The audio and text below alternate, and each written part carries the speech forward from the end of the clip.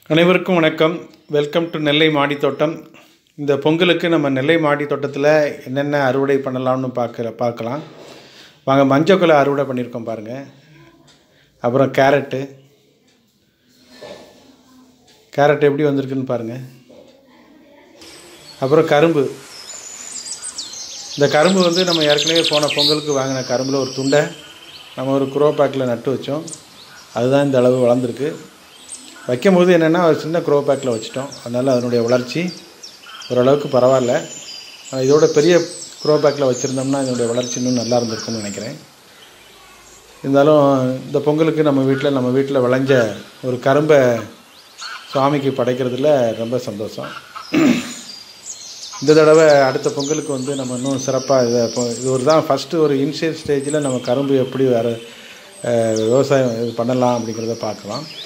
ஆனால் அடுத்த திருப்பு இதோட சிறப்பாக செய்யலாங்கிற ஒரு நம்பிக்கை வந்திருக்கு. ஓரளவுக்கு பரவாயில்ல.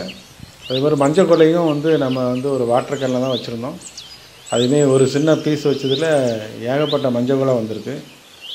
இந்த பாருங்கள் இது நம்ம ஒரு வாட்டர் கேனில் வச்ச ஒரு சின்ன பீஸ் தான். அதிலே மூணு மஞ்சள் கொலை வந்திருக்கு.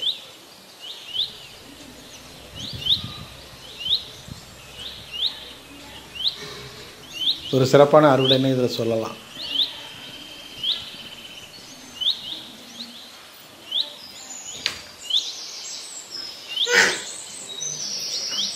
அனைவருக்கும் இனிய பொங்கல் நல்வாழ்த்துக்கள் இது பிடிச்சிருந்தனா லைக் பண்ணுங்கள் ஷேர் பண்ணுங்கள் மறக்காமல் நம்ம சேனலை சப்ஸ்கிரைப் பண்ணுங்கள் கேரட்டினுடைய கேரட் அறுவடை பண்ணுறோம் கேரட் எப்படி இருக்குன்னு பாருங்கள்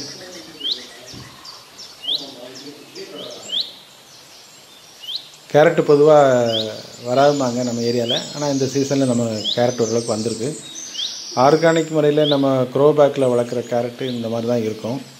இதுக்கு மேலே நம்ம வளர்ச்சி எதிர்பார்க்க முடியாது. ஏன்னா நம்ம கெமிக்கலோ மற்ற இது யூஸ் பண்ணல.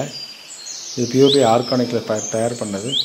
இங்கே கடையில் விற்கிற கேரட்டு மாதிரி வரும்னு எதிர்பார்க்க முடியாது. இந்த அளவுக்கு தான் வரும். ஆனால் அதனுடைய டேஸ்ட்டு தரங்கள் எல்லாமே சிறப்பாக இருக்கும்.